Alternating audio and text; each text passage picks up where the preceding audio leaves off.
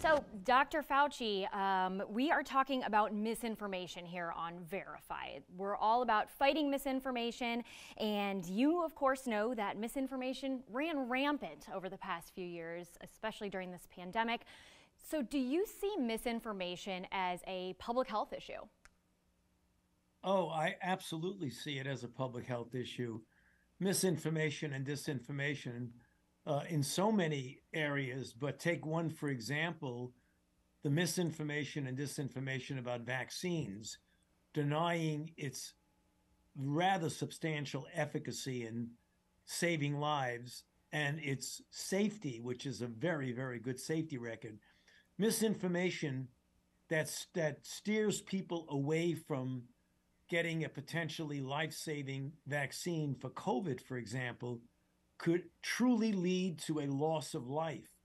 And there's an estimation that literally tens, if not hundreds of thousands of deaths could have been averted if people who should have been vaccinated got vaccinated but did not because of misinformation and disinformation that steered them away from getting vaccinated. So it is truly a public health issue.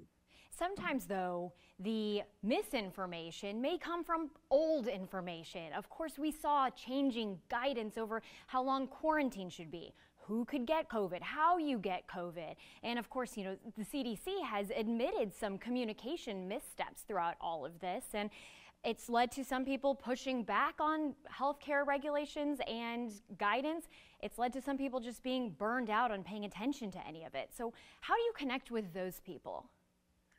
Well, what we really have to try and explain and do a better job of it is that when you're dealing with a moving target, like we have been dealing with with COVID, I mean, what we knew in January of 2020 was very different from what we learned in February, March, April, and then into 2021 about how the virus spreads, its efficiency in spreading, the fact that the virus can be transmitted from one person to another 50 to 60% of the time from someone who has no symptoms at all, which impacts greatly a recommendation or not for the wearing of masks.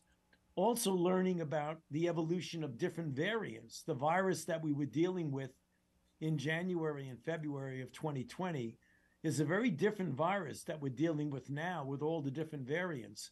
So, what we need to do is to make it much more clear that when things are said on the basis of data that you have at a given time, you've got to always realize that that information could change next month or six months from now. And that's really the nature of science. It's self correcting.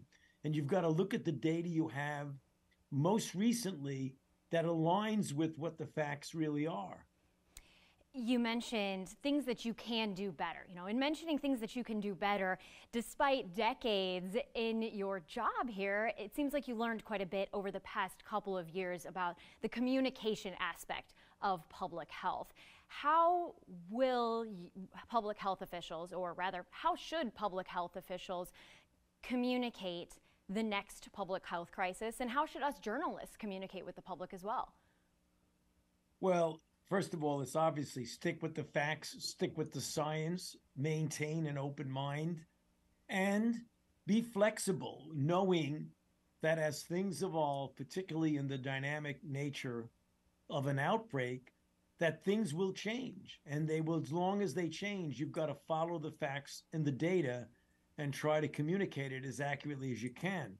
We are faced with a very specific problem with this outbreak is that our nation, for anyone who's even paying a little bit of attention, is really in an era of extraordinary divisiveness where ideological differences spill over into recommendations about public health.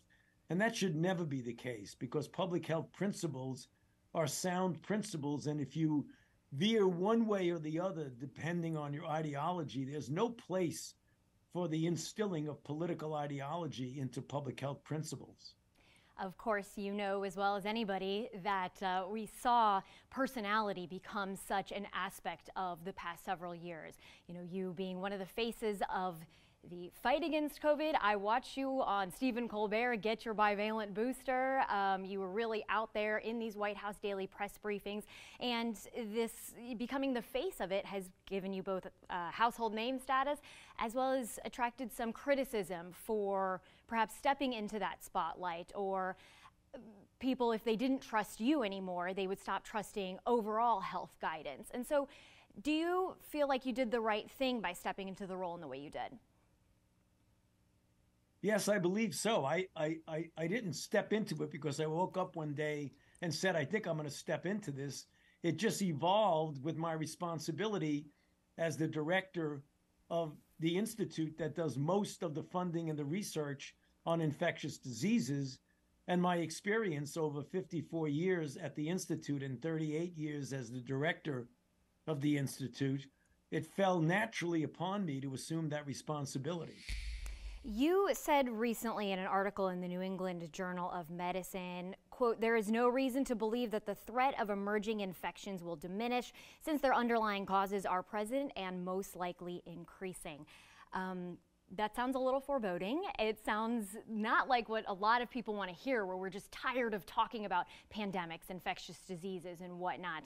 Um, so, how confident are you in Americans' abilities to confront the next public health crisis, given our response to the current one? Well, if we learn the lessons that we should have learned from our experience with the current outbreak, as well as prior outbreaks, we can do much better and be prepared. There will be subsequent outbreaks.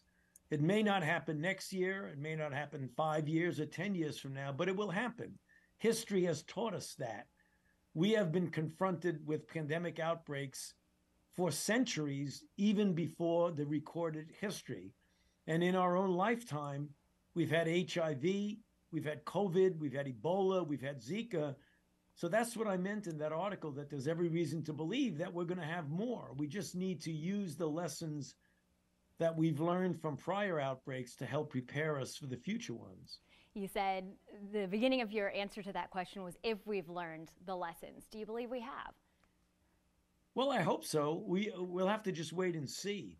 One of the problems is that people and countries' corporate memory often fades when you distance yourself from the event that you were concerned with, and people tend to focus on what the current real and present danger is and not what might happen next year or the year after. That's why it becomes difficult to convince people that we need to have a perpetual readiness for the next outbreak looking at what's happening in China right now with the protests against the most uh, severe COVID restrictions that we're seeing internationally still in 2022 there, um, and seeing the way people are lashing out against that, but then also seeing how people had spoken out against public health officials in their own communities over the course of the past few years.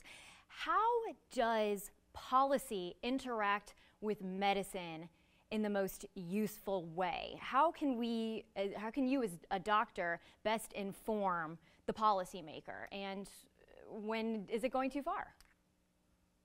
Well, I don't mean, know what you mean by going too far. You have to make your information flow and your recommendations and your guidelines based on sound public health and scientific and medical principles and go with the data. You have to look at the evidence that's unfolding as well as the experience that you might have had in prior outbreaks.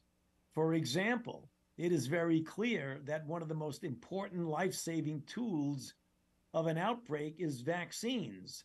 So the idea that we have so many people pushing back on vaccines is really tragic, is the real word for it, because it results in the loss of life that's unnecessary loss of life and preventable loss of life. So it merely means sticking to the public health principles and the scientific facts. Mm-hmm. Um, just two more quick questions for you, Dr. Fauci, in our time that we have. Um, you know, I guess what I meant by the quote unquote going too far is that some people had questions about when the CDC guidance for how long quarantine should be seemed to change at the whim of what employers and businesses were hoping to see. And they had questions about was medicine informing policy or was policy informing medicine? And how would you describe that relationship? Yeah, I think for the most part, it was that medicine was informing policy. I mean, policy, sometimes you have to take into account the practicality of what you're recommending. If you recommend something that's impossible to implement, then obviously you want to have the reality on the ground inform what your ultimate recommendation or guideline will be. But the core basis of recommendations should always be scientific, medical, and public health principles.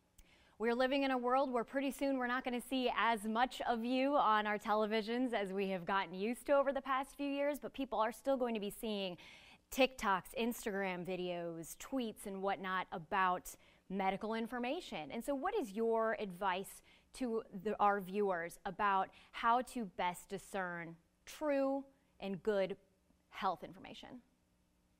Well, I think you should use as your source not somebody who's got no experience or basis of knowledge and spends a lot of time tweeting or spends a lot of time on FaceTime. You should base the kinds of decisions you make for your own health and that of your family on trusted sources. You know, the CDC is a trusted source. You go to cdc.gov, you go to nih.gov, you go to fda.gov, you can get the facts and the truth about what needs to be done when you're dealing with a variety of medical challenges. So I would stay away from learning from tweets and maybe learn from authorities. I'll squeeze in one more bonus question since I think we have just a couple more minutes here. Dr. Fauci, I read that you are interested in spending the next part of your career mentoring the next generation of public health officials. What do you hope to teach them? Well, exactly what we've been talking about about the importance uh, of science, of medical, uh, public health, and hopefully even inspire some people to get involved in public service the way I have been for almost 60 years, because you can accomplish a lot and get a great deal of gratification about doing things that serves the general public. And I believe that there is a lot of young and passionate people out there who could do a very good job if they got into public service, particularly in the arena of health and medicine. Absolutely. Dr. Fauci, um, anything else that you would like to add as part of our discussion, especially as it relates to going into another cold and flu season here? We're already in yeah. a, a, flu season. We're not going into yeah, it. Yeah, true. No, I think people should just, as we get into the colder uh, weather of the late fall and early winter, you know, if you've not been vaccinated against COVID, please do, and certainly get a flu vaccine. And if you don't have yet your updated booster for COVID, please get it. It's important to protect yourself and your family from a serious consequence of COVID. Absolutely, especially with that one with the low uptake on that vaccine so far. So, Dr. Fauci, thank you so much for your time. My pleasure. Good to be with you. Thank you for having me. And thank you for uh, your service to this country. I appreciate it and wish you all the best. Thank you. All right.